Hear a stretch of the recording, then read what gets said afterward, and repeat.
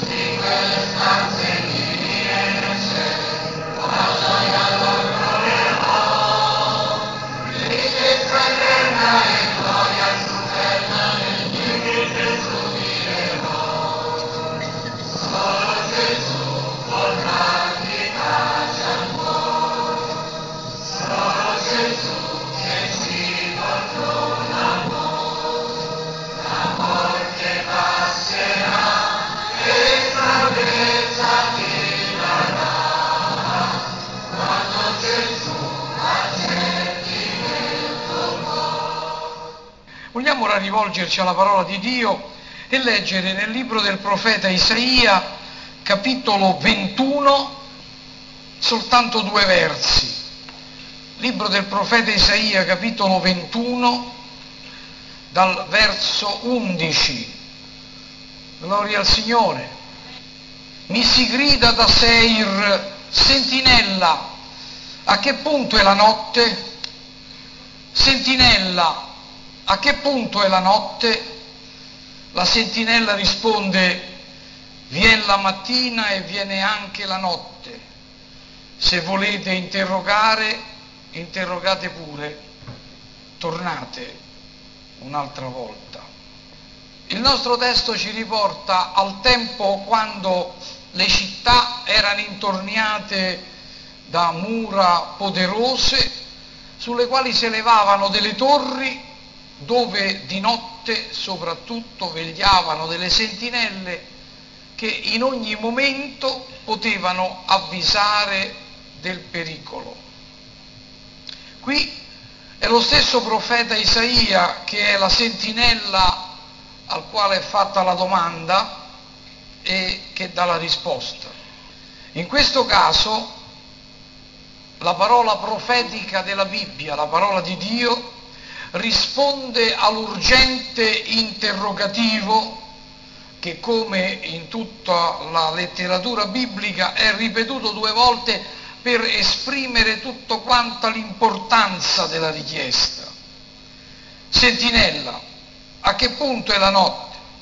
Cioè, in quale ora viviamo? A che ora siamo giunti? Voi sapete che anticamente le sentinelle dovevano smontare ad una certa ora della notte e si chiede che ora è, in quale ora viviamo. Consideriamo prima di tutto questa domanda, è una domanda insistente. Sembrano dire con questa parola quanto tempo dureranno ancora queste tenebre, quando verrà il giorno. E a me sembra che la scrittura qui si riferisca non a tenebre fisiche, ma a tenebre spirituali e morali. Quali sono le caratteristiche di queste tenebre? Leggendo tutto il capitolo scopriamo che ci sono dei tre messaggi, uno contro Babilonia, uno contro Duma e un altro contro la rabbia. Sono tre profezie e tutti noi sappiamo che Babilonia significa caos, significa confusione, Duma significa tensione, rabbia significa sospetto. E a me sembra che le tenebre di questo mondo, la notte nel quale il mondo viveva allora e vive ancora oggi e vive sempre ad ogni punto della storia quando la civiltà è decadente soprattutto, è, le tenebre sono caratterizzate prima di tutto dalla confusione, dal caos, caos a tutti i livelli, caos a livello spirituale, caos a livello morale, caos a livello sociale, perché no, caos a livello religioso, caos a livello anche politico, confusione. Il mondo è disorientato da questa confusione, ma non solo, queste tenebre sono tenebre di caos, ma sono tenebre di tensione. Quanta tensione nell'ambito della famiglia, nell'ambito delle città, nell'ambito delle nazioni, nell'ambito del mondo. Noi ci troviamo a continui dissidi, conflitti, tensione a tutti i livelli, dissidi e tensioni e incomprensioni tra le varie generazioni, dissidi, incomprensioni e tensioni i vari sessi, dissidi, tensioni e incomprensioni per ragioni di lavoro, tensioni di carattere razziali, tensioni di carattere tribali, tensioni di carattere nazionalistiche, tensioni di carattere religiose. E queste tenebre sono anche tenebre di sospetto Viviamo in un mondo di sospetti, di totale sfiducia e dissidenza, diffidenza l'uno dell'altro. Sentinella, a che punto è la notte? È la domanda. Sentinella, quando è che finirà questa notte di confusione, questa notte di tensione, questa notte di sospetto, questa notte di sfiducia, questa notte di conflitto? di diffidenza. Quando è? Ma c'è anche la risposta. Perché sapete, fratelli, sorelle, amici, la parola di Dio non solo elenca le domande dell'uomo, ma dà anche le risposte. Gloria sia al nome di Dio. La risposta della sentinella non tarda a venire. La Sacra Scrittura è una sentinella sempre vera che rimane non solo nel tempo, ma non rimane muta agli interrogativi degli uomini. La risposta è precisa, è inequivocabile. Viene la mattina e viene anche la notte. La risposta, la risposta è come Dio la presenta sempre positiva e negativa, perché l'enigma del futuro è non nelle mani di Dio, ma nelle mani degli uomini, il futuro di ciascuno di noi. La risposta può essere positiva o può essere negativa. Viene il mattino di luce, ma segue anche la notte d'oscurità. E in questo continuo susseguirsi di giorno e di notte, di luce e di tenebre, ognuno di noi deve scegliere se vuole vivere nella luce o vuole vivere nelle tenebre. in questo continuo chiaroscuro dell'esistenza, noi dobbiamo decidere se accettare il mattino di speranza quando le ombre scompaiono e il nostro nemico può essere individuato a distanza e possiamo liberarcene, oppure se invece continuare a subire l'oscurità della confusione, del caos, della tensione e del sospetto. C'è il mattino glorioso e risplendente della grazia di Dio in Cristo. C'è il mattino glorioso della liberazione dalla confusione, dalla tensione, dal sospetto. C'è il mattino meraviglioso di una vita trasformata dalla potenza di Dio, che dà purezza, che dà perdono, che dà pace. Il mattino che ci viene rivelato da colui che è la stella brillante e mattutina, Gesù, che è venuto per rivelarci il grande mattino eterno di Dio, quel mattino di profonda comunione con Dio, la certezza della sua vicinanza e la benedizione della sua presenza. Ma purtroppo c'è anche la notte quando il giorno dell'opportunità fugge, quando gli uomini scelgono le tenebre invece che la luce, e allora tornano le tenebre della sofferenza, le tenebre della calamità per quelli che non accettano il giorno della grazia. E purtroppo, quando gli increduli, se continueranno a vivere nelle tenebre, saranno puniti d'eterna rovina respinti dalla presenza del Signore e dalla gloria della sua potenza. Ma non c'è qui nel nostro testo solo una domanda, sentinella che punto è la notte? E non c'è solo una risposta, viene la mattina e viene la notte, ma con la risposta è presentata anche la soluzione. L'interrogativo che la gente fa non deve, essere per, me, deve essere per mera curiosità, ma è un interrogativo che ci spinge verso la soluzione che Dio ha stabilito, perché il piano di Dio è quello di aiutare, di vincere l'incredulità, di vincere l'indifferenza, di liberare dalla confusione, di liberare dalle tensioni, di liberare dai sospetti e dalla diffidenza. Se volete interrogare, interrogate pure, tornate un'altra volta.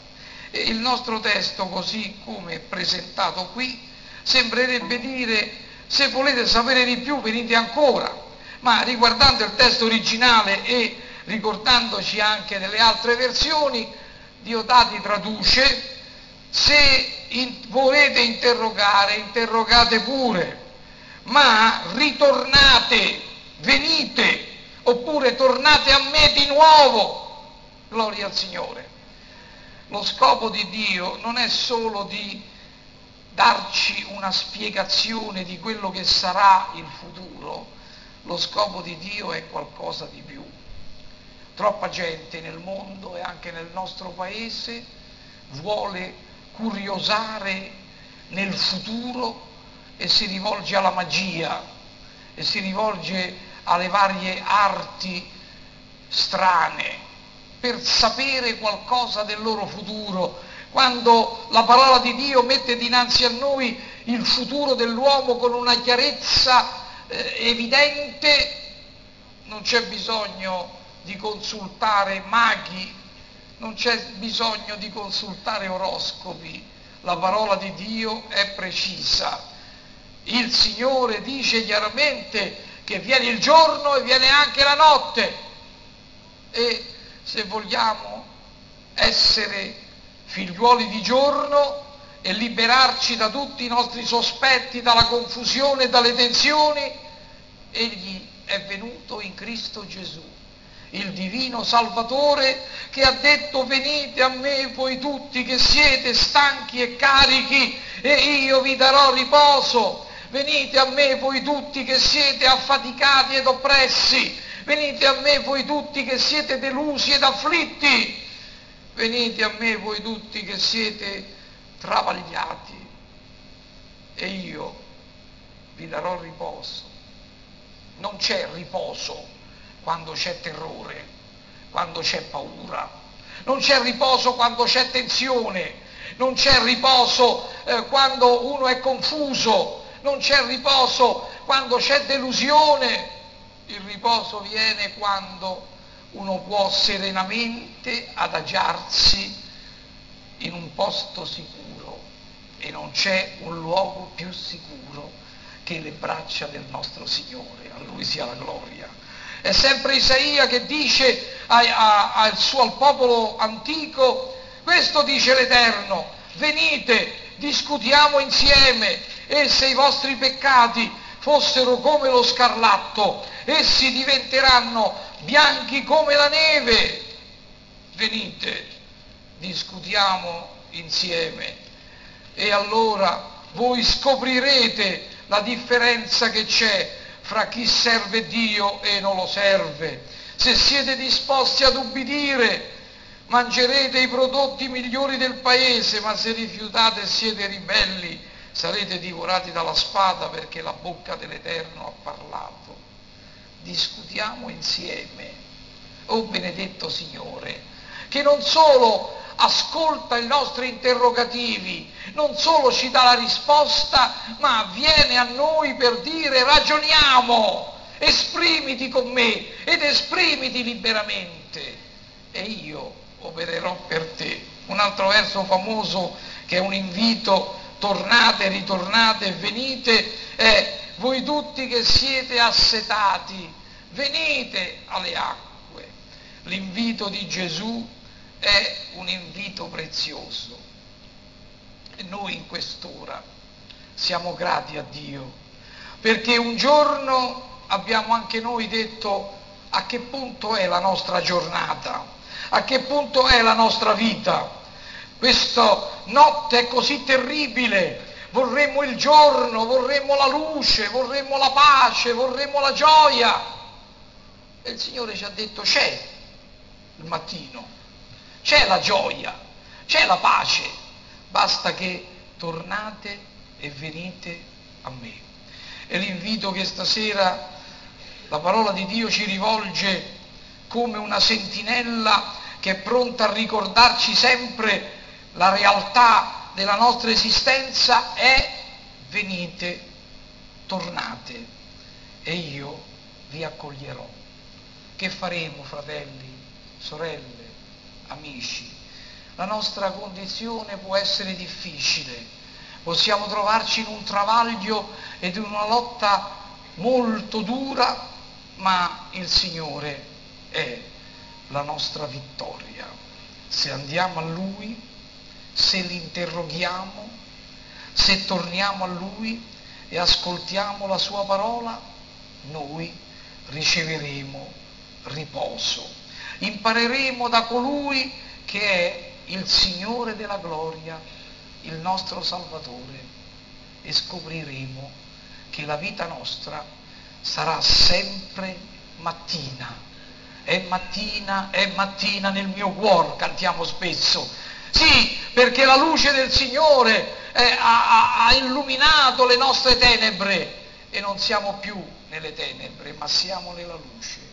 E come figliuoli di luce, abbiamo comunione l'uno con l'altro e insieme l'abbiamo con Dio e il sangue di Gesù Cristo, il suo figliuolo, ci purifica da ogni peccato. È un invito stasera. In un mondo così triste, in un mondo così travagliato, in un mondo così deluso e disorientato, noi possiamo godere la pace di Dio e scoprire che Dio è fedele, Gesù è una realtà, Gesù non è lontano, Dio non è lontano. Egli risponde ancora, interrogalo e lui ti risponderà e ti rivelerà il segreto della vera felicità. Chiniamo i nostri capi in preghiera.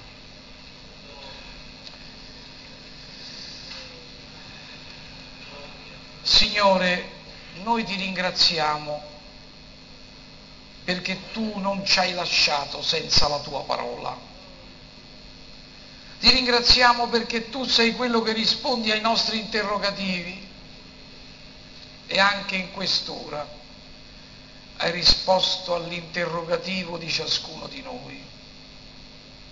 Forse tra noi c'è qualcuno confuso, in tensione, con dei contrasti intimi, familiari, che si trova in grosse difficoltà, qualcuno che ha bisogno della tua pace, del tuo sostegno, della tua forza. E in questo momento, mentre questa persona si accosta a te, ricevilo, Signore. Onora la tua parola, tu hai detto tornate, venite, noi veniamo a te, torniamo a te perché vogliamo che trasformi le nostre tenebre in luce, i nostri problemi in soluzione. Signore, liberaci dalla confusione, liberaci dalle tensioni, liberaci da tutti i sospetti e le delusioni. Dacci la vera pace che viene da te e non solo a noi, Signore, ma stabilisci la tua pace nel mondo, perché tutti possano riconoscere Gesù, il principe della pace, è nel suo nome che noi ti ringraziamo, in lui benedetti in eterno. Amen. Vogliamo alzarci tutti in piedi e ringraziare il Signore, qualcuno ci guidi in preghiera qualcuno che viene avanti al microfono per pregare, fratello? Caruso, vieni avanti, prega qui per favore, grazie. Gloria a Dio, siamo figliuoli di luce, vero? E noi vogliamo lodare il Signore per questo.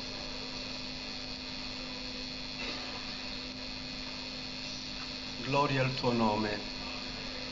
Signore, con tutto il nostro cuore, che noi in questa sera veniamo a te per renderti la gloria, l'onore, la magnificenza, la nostra gratitudine, Signore, per il tuo grande ed immenso amore. Alleluia. Amore che ci ha convinti, Signore.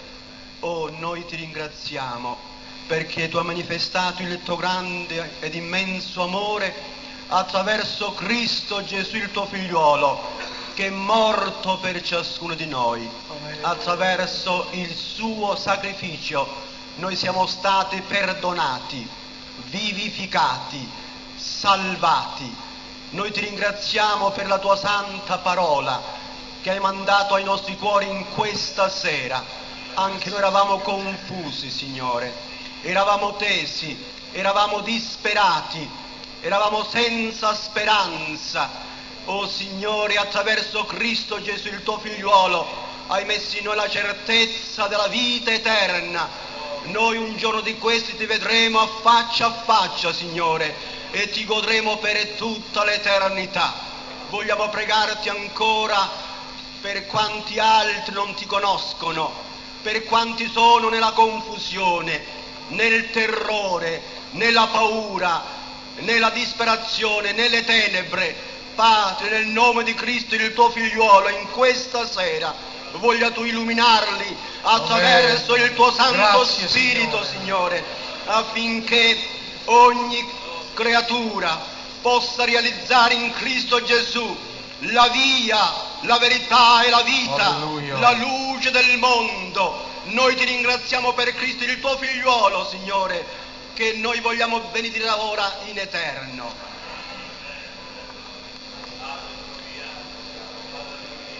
Amen. Gloria a Dio. Vogliamo concludere cantando alla gloria del Signore l'inno 21. Inno 21. Gloria a Dio.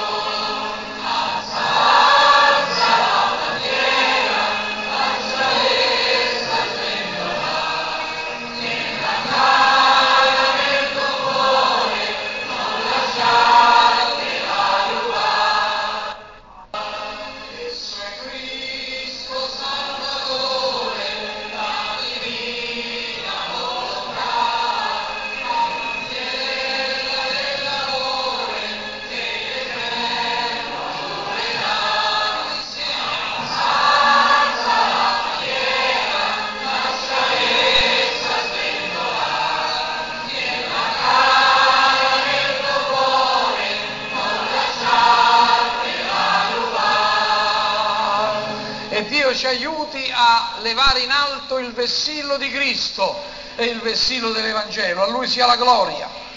Ed ora la grazia del nostro Signore Gesù Cristo, l'amore di Dio il Padre, la comunione e le compassioni dello Spirito Santo siano con noi e con tutto il suo popolo.